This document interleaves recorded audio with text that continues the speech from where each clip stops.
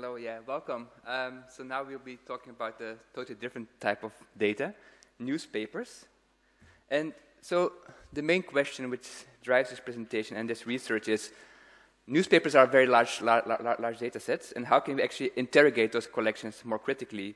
How can we assess their representativeness and their biases in such uh, collections?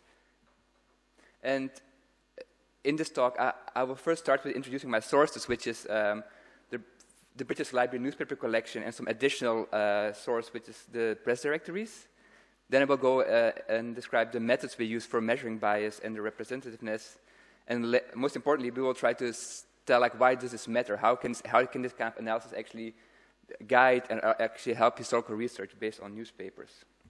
And this work is kind of a follow-on on a paper we published previously um, so if, if, you want to have more feedback and more kind of background on, on, this work, you can consult this paper, which is online now. So when people, so our data set is a British Library newspaper collection, which is now uh, hosted on the website called uh, British Newspaper Archive. And it's, it's, it's huge. Like it, it, I think it's one of, arguably one of the biggest historical data sets available at the moment, um, if not the biggest. But like when people try to access this data, it's mostly like the, the main point of access is this kind of uh, portal, like a search portal. But in many ways, I think especially for historians, it's quite problematic because you can go quite deeply into your data, you can find something, but then it's quite difficult to say, like, where am I? How am I situated within the broader framework of this data set? So newspaper collections, and this probably also counts for like other kind of like quite like data sets, like um, they're often like hybrid and they're kind of difficult to understand. So for example, here I'm showing each dot is like a newspaper, and the digital collection is actually just a sample of, let's say, uh, of, of, of, this newspaper landscape. And it's really hard to know which, which have been selected, what am I missing, um, what, what are the biases in this collection, what are the results of the selection process for my historical research. In this case, we kind of built on a concept of oligoptic data, like big data is oligoptic, oligoptic which is coined by, not by Robert Kitchin, and it's basically it sends oligoptic sense in contrast to panoptic. Like panoptic is like the all, the, the, the, the all encompassing view. But he kind of argues that big data is oligoptic, so it gives you a specific perspective on the past. But how can you actually kind of articulate or kind of detail this perspective? What, this, what perspective does historical newspaper actually give us? So the question we, we mainly try to address in this um, section, in, in, this presentation, is like how digitized is the um, 19th century press uh, how representative is the digitized press of 19th century um, um, society or of the 19th century press as, as, a whole? And we will try to answer this question like by doing mainly two techniques. We can try to scan, like we try to understand what is present in our data, what is missing, and how the digital sample, again, the sample of digitized newspaper relates to the wider landscape. How does it relate to the press as a whole or to society? And we also try to contextualize uh, this newspaper collection, like enrich it with like relevant metadata which goes beyond the traditional metadata, which is in newspaper collections. So to do this, so both to kind of scan the landscape and kind of enrich the data, we used a source called newspaper press directories. And this was kind of the, it's, it's published uh, from 1846 onwards almost annually. And it's like a very detailed source of all the newspapers that circulated in, in Britain. So for each newspaper, um, it kind of gives like a quite detailed description about basically like the title, um, the, how much the newspaper costed, like how expensive was it, what were its politics, how old was it. So it gives like quite a detailed profile about, about each newspaper. And this kind of allows us to both kind of get a sense like what, what were actually all the newspapers existing, and also both to kind of describe the newspapers in, in, in a richer way. So basically what we did in, in, the, in the project, we, we, we kind of we spent quite some time digitizing those press directories, which meant from going from this image to a structured version um, so we can then use this for our analysis. And this data is, is available uh, online now. So what we, we gathered around like 90,000 descriptions of, of newspapers between 1846 and 1920. So again, 90,000 of like these kind of small, like these kind of profiles of descriptions of newspapers. And we extracted information from those descriptions like politics, price, place, and also did, did some other things like georeferencing and linking entries over time. And all this data is now available on the British Library repo. I think if you go there and you search for press directories, you should be able to find it. And this just gives you like an idea what, what this data looks like. Again, this is our press directories. So this kind of shows you the number of newspapers uh, by place. So the, the dot size indicates how many newspapers were, were published, and the color kind of gives you an uh, indication of its politics. So it kind of shows you the political geography of the British press for like only for one year. And again, we have it for almost every year, so you could also do it over time, which I'm not showing here. But this just to give an idea of what actually is in this data. And then our other data source was actually the actual newspaper, the, the digitized newspaper corpus. Um, and in this plot, I show you the, the kind of the number of newspapers digitized, which is like the solid blue line. And then the kind of the dotted one is like the number of newspapers in the, in the press directories for each year. So it kind of shows you how much has been, has been digitized in relation to how much newspaper we assume there actually were at this time. And we kind of estimated around 20% of the titles now have been digitized for the, for the 19th century. And for the news to analyze the content, we have converted this, this, this the, the content of the newspapers to word counts for like initial kind of content exploration. And we linked all those word counts to the press directories. And we also will hopefully be releasing this data soon. So it's a kind of a Google Ngrams, but then for newspapers, but also Ang Google Ngrams with like metadata. So you can do like quite detailed queries. For example, how how often did cheap liberal papers uh, published in Kent mention the word worker, for example? And again, the data is quite big, so it's like 150 billion words, and we have like around 300,000 observations. So it's quite a rich and large data set for newspapers. Um, so now about our methods, how do we measure bias? So we are mainly interested in like the political, uh, the, politi the, the, political leaning of the newspaper. So we will be mostly talking about political bias, and we, may, we, we kind of investigate like the, again like the press directories for each newspaper show like a label, like is this newspaper liberal or uh, conservative, neutral, and this plot shows you like the distribution of, of political labels for like in the press directories uh, for the whole kind of uh, um, like the whole 19th century. And actually, there were like around 71 different labels, which was quite interesting. Like there were like, oh, new, newspapers were often like quite nuanced on how they profile their politics. Uh, we slightly simplified this on the on the uh, your right, I guess.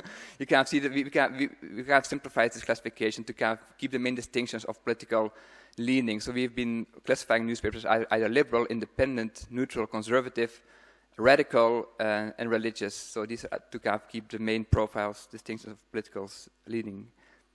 Um, so how then to measure bias? So again, we, we look basically at the distribution of those political labels. So we have the, um, basically what we want to do is how, how much does this distribution of the digitized sample diverge from some other kind of distribution?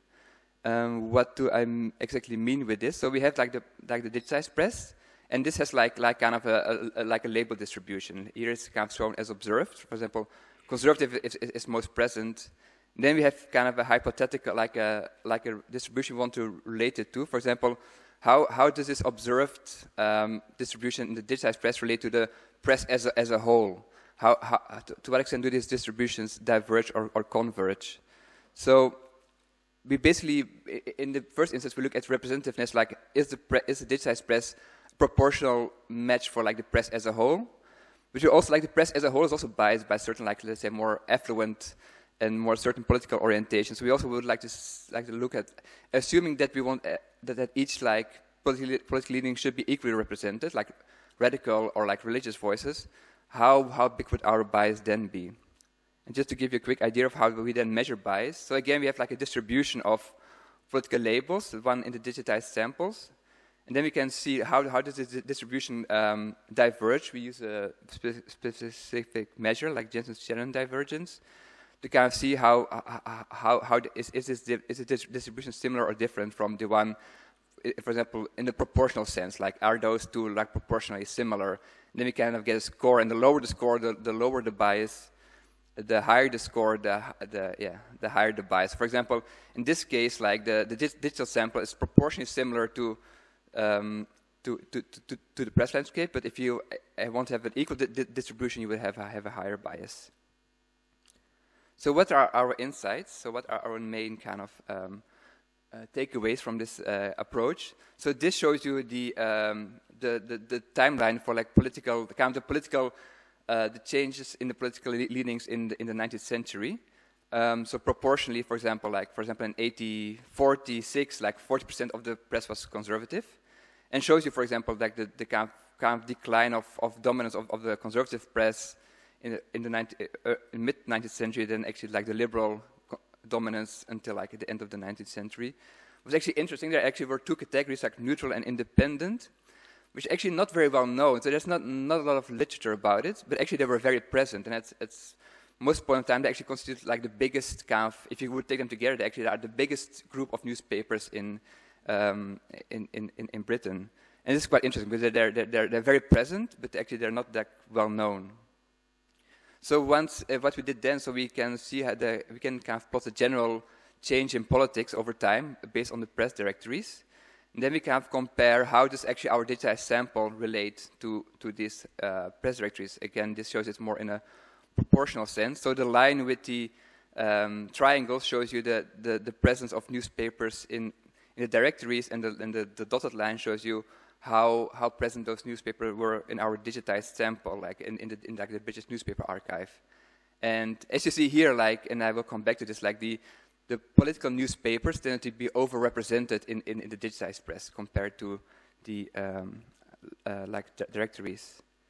And then we can also kind of measure bias over time. So this is why we kind of see this as a kind of diagnostic tool to kind of get a sense like how biased is my, is my collection for a certain year, for example. And for example, in this sense, if you look at the line for proportional, the one with the triangles, you can see that the bias kind of shows a bit of a U curve. So it, it comes quite high at the 80-50s, goes down, but actually, actually um, rises again later. So actually, the, the, the, further we go in time, the more biased our corpus becomes.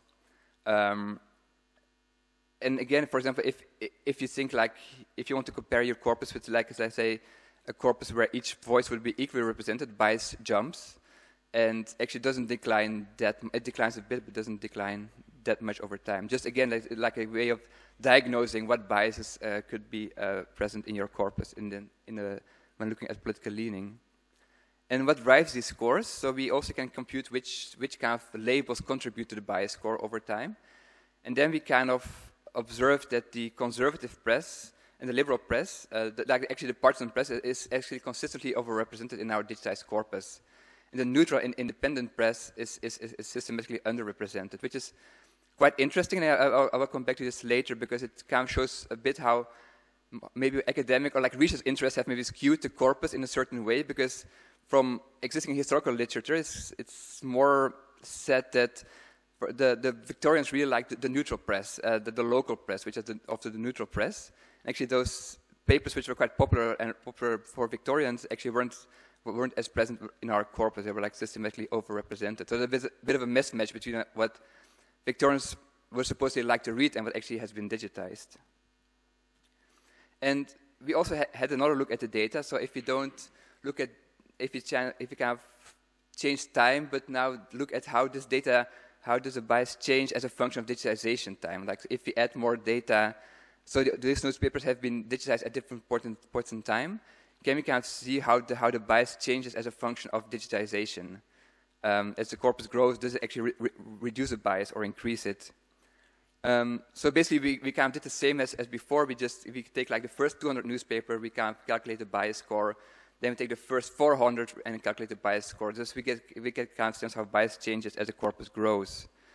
And th this allows us to kind of see how, for example, for the equal representation vision, in this sense, like the bias didn't actually change very much, uh, adding 1,000 news newspapers to the corpus. Um, but again, what was most interesting for us, what actually, how was it actually related to, to the, um, the kind of political orientation of newspapers?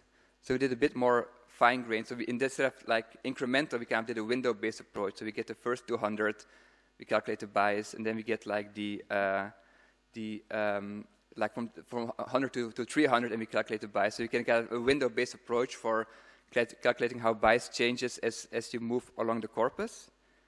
And this was actually quite interesting because it kind of shows how different kind of digitization efforts uh, seem to have different like results in, in terms of political bias. So the British newspaper archive is like a, a longer term effort, which already started like in early 2000s with uh, uh, digitization by JISC. And then it was taken over by Gale, if, if I understand correctly. And um, and these were like the initial efforts were actually more academic oriented.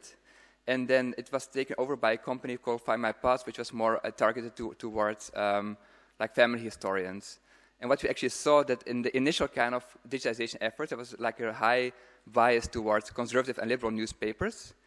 And then when, and again, this is like approximate, it's not, not like a clear-cut timeline, but we can see that later on actually in the digitization when Find My Past took over, um, there, there was a higher, more tendency to, to, to kind of digitize the neutral or independent papers. Actually, like the, these digitization projects, they really had seemed to have different priorities in, in, in kind of the, in, in, in their, uh, in, in, how they collected and digitized newspapers. Um, now turning to the last part of the presentation, we, all, we were also interested in um, analyzing the, the, bias in the content of, of newspapers. So we were interested, interested in finding like which words are kind of liberal or, or conservative, like the, which, which had like a strong partisan kind of leaning. And to do, do this, I, I, won't explain the method in, in detail, but we tried to find words with, which were discriminative ac across categories, so discriminative for liberal versus everything else, but also prevalent within a category. So they were used by many different liberal newspapers. And also the words are, are kind of persistent, so they, they, are like persistently biased over the whole period to kind of um, get like a sense, like what are the main kind of partisan words in, in, in newspaper data. Um, and we use some different methods, but I won't go into detail now about this. So th this shows you, for example, the top 10 most liberal words that our method produced. And I found it quite nice because from all the, like, I think there were like around a million words in the corpus, this was, this, this was scored as most liberal. And you can see like Tory, like the adversarial language re really speaks through this uh, word list, like this about we and they, like Tory were the opponents, the liberals were, were like describing their, their own party. We also grouped those words into categories to get a sense of what, what did those different types of newspaper speak most about, which were like partly confirmed our intuition, but also showed some interesting new uh, um, um, insights. So, for example, the religion was a very conservative topic, not, not surprisingly, but it was actually also very present in, in, in the liberal press. But they used different words to refer to religion. Um, and the, the, liberal press was actually way more political. Like they, they used more, they talked more about Parliament and, and Westminster, like the, the high politics. And also, when you look more closely at, at kind of the social words, um, the conservative press was clearly more um, more towards, let's say, aristocracy, uh, while the, the, liberal press really, really has like a whole, whole different kind of social classification, talking about miners uh, and so on, working and, and workmen. So, one last um, result I, would like to share. So, we, we, this, these are like the most. These are the words we call partisans. So the, the antagonistic vocabulary about we and they. Like this, this is like the, he shows that Tory and Tories were the more liberal, most liberal words, and radical, radicals were more conservative words. And this shows this for like the whole 19th century. You can also plot this over time. For example, how distinct, how distinctive is the word Tory for liberal newspapers at a certain point in time? And then what's actually interesting here that it kind of the partisanship kind of changed over time, and we especially saw that in times when, when liberals were like more in power, like the, the conservative newspapers were more partisan, and this kind of switched later in the 19th century, where, where, where the, um, the, the conservatives were stronger actually, and then the liberal newspapers were, were actually more partisan. So the, the, the, the, orange line shows you which kind of orange is for, is for liberal, which shows you which party was in power or which won the election. Perfect.